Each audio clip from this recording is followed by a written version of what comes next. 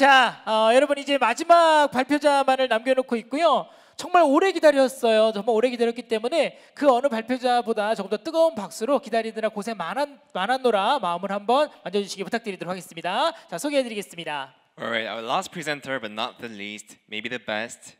Um, Biana from the Department of Electrical Engineering with the title Flash Boom Imaging Through Listening to Sound Induced by Light. 자, 전정학과 비아나입니다. 뜨거운 박수 부탁드리겠습니다. Hello, everybody. Nice to see you. Let's not look at me. Let's look at your hands. Can you see them? Can you see the hundreds of blood vessels under your skin? No, right? I have a special theory to that. I think blood vessels are actually really shy because they know a lot of bad information about you. Think about it. Blood vessels know if the King of England might get a stroke or a heart attack, if he might lose an arm or if he has cancer. When I would know all that, I would also be really shy and I would hide.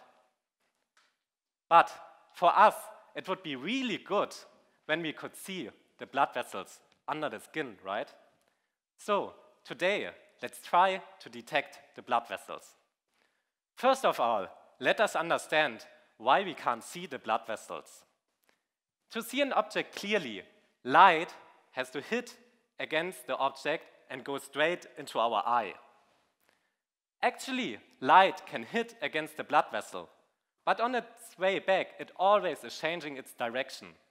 So we can just see the scattered light here, but not the blood vessel. Could we try something else?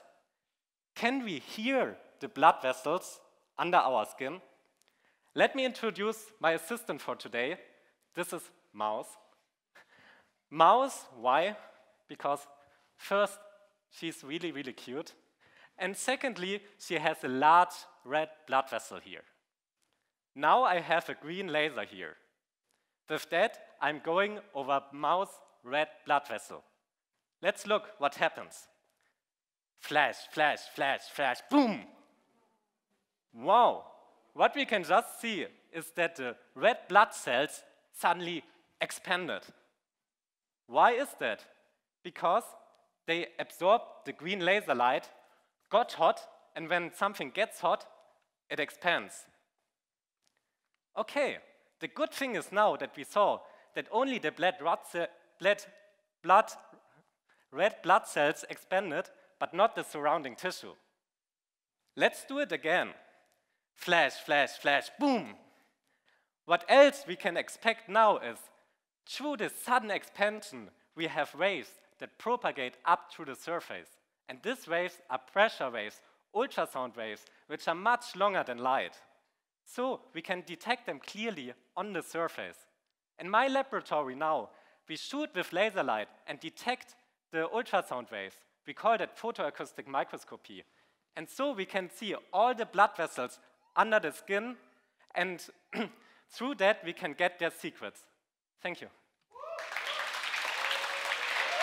네, 아 너무 잘 들었습니다. 어, 시간이 조금 네, 뭐 오바되긴 했는데 어, 뭐 크게 네, 문제가 되지는 않을 것 같습니다. 자, 질문을 저희가 좀 받도록 하겠고요. 네, 우리 어, 이종식 교수님 먼저 좀 부탁드리겠습니다. Hi, um, could you please say your name again for me first of all, and those who are not sure about you know how to pronounce your name correctly? My name is Bjarne. 비, 비안에 비안 Bjarne, 비안은 비안은. right. Sorry about that. 비안은. Okay. Um, so thank you so much for your wonderful talk. Um, you know, as a historian of science, actually, I'm quite used to like the distinction between like optics and you know um, sonic sciences, so acoustic science and visual science. These things. So to me, like you know, these two things are not um, necessarily connected, but your research is you know based on this combination of you know sound and light, all those things. So that actually you know um, to me that was one of the most inter- interesting things that you know I got your, from your presentation. Um, and okay, so like simple question, uh, be Sorry about that. Um, Bian, Biane, Biana. Okay, Biana, Biana. So simple question. Um, could you tell us more about you know um, your plans in terms of how you are going to use this research um, to make money, just simply. So it's about you know the kind of industrial or clinical uh, implications of your research. I'm, I'm pretty much sure you have some ideas about that. Well, okay. Actually, in the clinics at the moment, the microscopes or like the imaging detection that you have, when you think of it, the resolution is quite bad.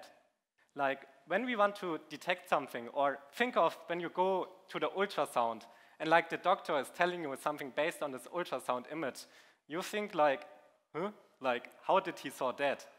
Our resolution is much better. So when we can bring our systems to the hospitals, actually the doctors will be fascinated by how high resolution they will receive, and they can make much more detailed diagnosis based on that.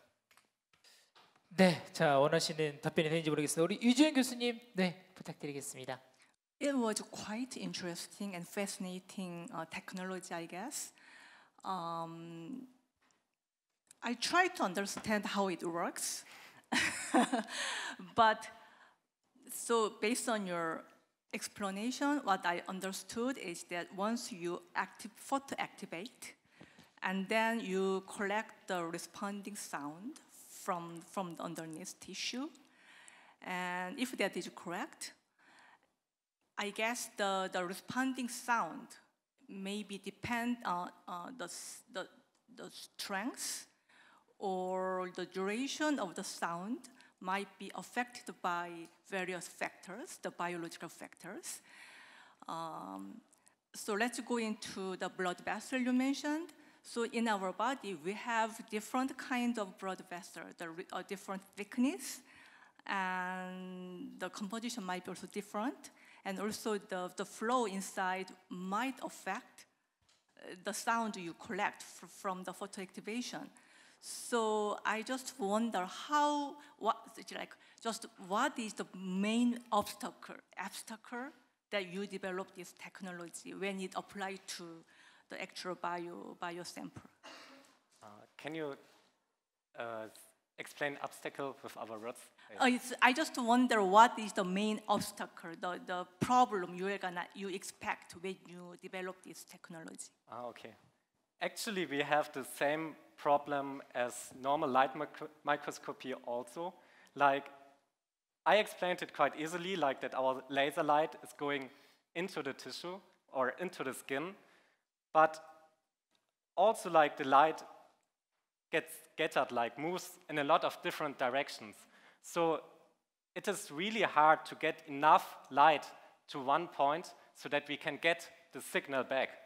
So actually, at like one millimeter depth, it is for us no problem to make beautiful images. But as deeper as we go, as harder it is for us to get a high signal. So actually, like the imaging depth is the biggest problem for us, and how to bring enough light to the deep. And maybe it apply to like capillary.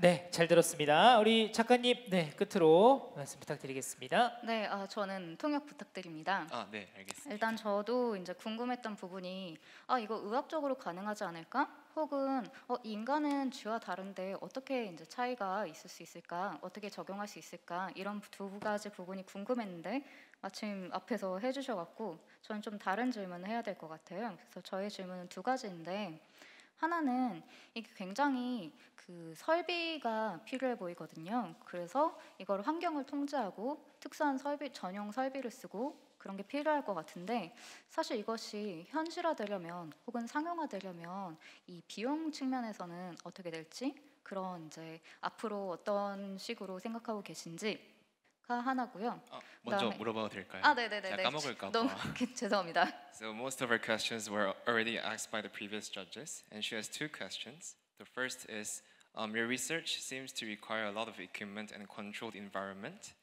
So let's say you have to carry this research so that it can be actually used in um, real life situations like a hospital. And what do you think will be the necessary cost for that? Actually, the lasers are quite expensive. So it is hard to estimate now, but I think at the moment, because there's no mass production, maybe one system might cost around $100,000. 네, 그러면 두 번째 질문인데요. 이게 사실 뇌 연구에도 굉장히 활용할 수 있지 않을까라는 생각이 있는데 생각이 드는데 그 뇌혈관 원- 연구라든가 그런 데 적용이 될 수 있지 않을까. 근데 이것이 가능한지 그리고 만약에 적용할 수 있다면 그 과제는 무엇인지 앞으로의 네, 그렇게 궁금합니다. Okay, to her, it seems that your research can also be applied to analyzing the blood vessels inside the brain.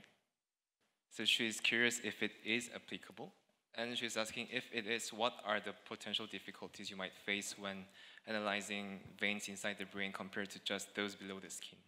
The biggest problem with imaging our brain is that we have a really big bone between that, and light cannot penetrate through bone. So, for example, for animal studies, it is possible to do the brain imaging, and you can get a lot of good information about it, but you have to remove the bone. So um, there are other methods like how you can get in the direction of the brain when you use like other openings, openings like in the human, but like for really brain imaging in the human, it is quite hard because of this. Yeah. 자 이렇게 해서 여섯 명의 모든 발표자의 발표를 모두 들어봤습니다. 수고했느라 박수 한번 해주시기 바라겠습니다. 네 고맙습니다.